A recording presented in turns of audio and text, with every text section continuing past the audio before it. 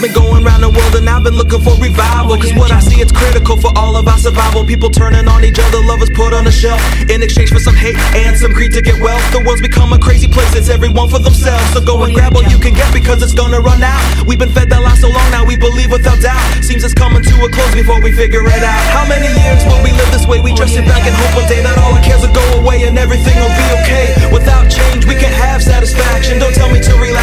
Go take any action. But even with these problems, I'm the eternal optimist. I keep on pushing forward when it hurts and when I'm sick of it. I sit and then I think of it. Get up again and recommit to be a part of something that could bring about some benefit. Gotta bring change from the inside out. Gotta stand up, lift our voice and shout. Gotta turn it around.